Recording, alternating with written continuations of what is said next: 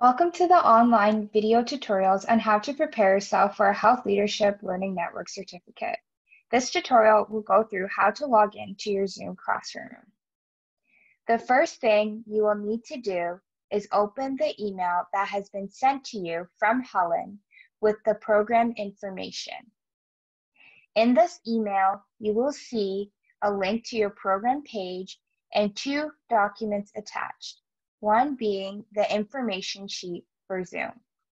So you're going to first download the file Zoom conference instructions or open it in your browser. So once you have opened the document, you will see the session dates. And then if you scroll down, you'll see step one. So you have the option to either copy and paste the link into your browser or clicking the link. But before you click the link, please write down the meeting ID code or copy and paste it into a different document.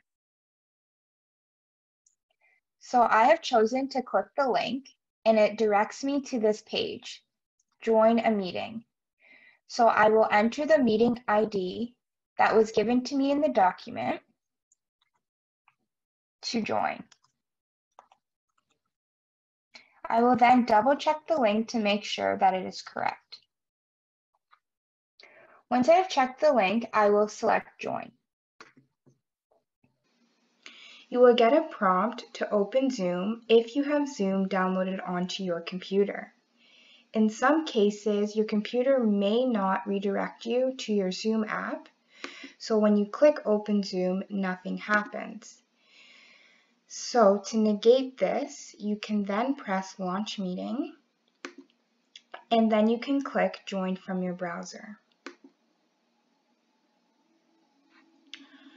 So here you have the opportunity to add your name. Then you must click I am not a robot in order for you to then be able to join. You will now be brought to this page. You'll either have a prompt that says join audio, audio, or if you go down to the bottom right here, you will see join audio. Now in order for you to hear people on the other side, as well as for people to hear you, you must click join audio. So I'm going to click that right here. Please note that when you click join audio, you will be unmuting your microphone, meaning that people will be able to hear you. So I'm going to click that now and join with computer audio. Now you can see that my microphone is on and people will be able to hear me.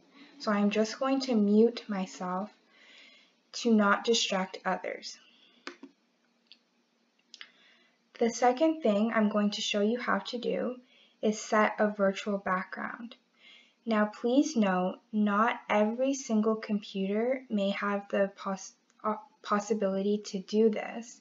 However, if you can set a virtual background, I will go through the steps now. So what you will do is you'll click this arrow and you're going to click choose virtual background. Now you will click on the background that you wish to use. So I'm going to click um, the grass.